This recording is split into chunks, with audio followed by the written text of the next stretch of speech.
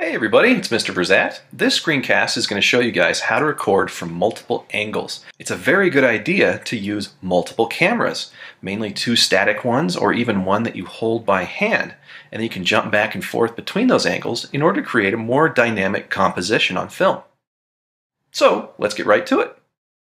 So what I've done is I set up two cameras and I had them both on record showing me doing something. First thing you want to do anytime you're going to edit a whole bunch of video clips together into one is check the sound. You need to find an anchor point or a foundation on which all of your work lies so that the sound isn't out of sync with the video. So let's check the audio on camera number one.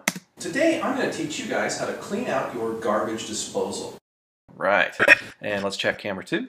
Well, hi there everybody. Today I'm going to teach you guys how to clean out your garbage disposal. Okay, the audio on camera number two sounds better than number one, so we're going to use that. So I'm going to grab all the camera footage from camera number two, and just pull that right down. Step number one is to detach your audio. That gives us more freedom. We can now move the audio around and insert clips and treat the audio as a separate asset in your video production. So it's really simple. It's just a process of watching the video. Today I'm going to teach you guys how to clean out your garbage disposal. And then trying to find a nice healthy spot to insert other video footage. I like to throw a new angle in when there's kind of a rhythm or a cadence to what you're watching which would be after, say, my first sentence. Cut to the next angle. Today, I'm going to teach you guys how to clean out your garbage disposal. Bam, right there would be a great part to cut to another angle.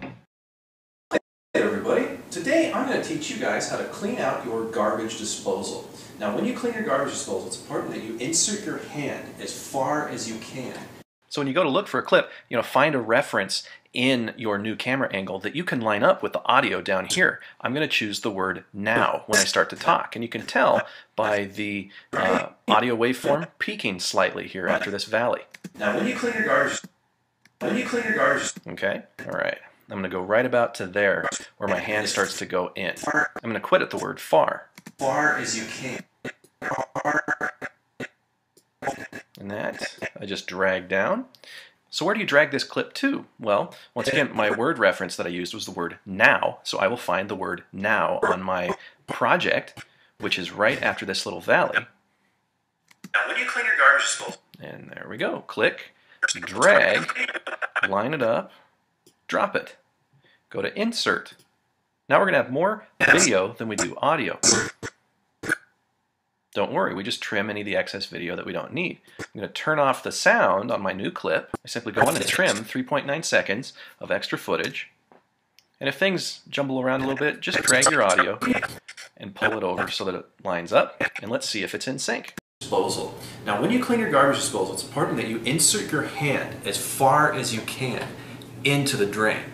And see that flows together pretty well.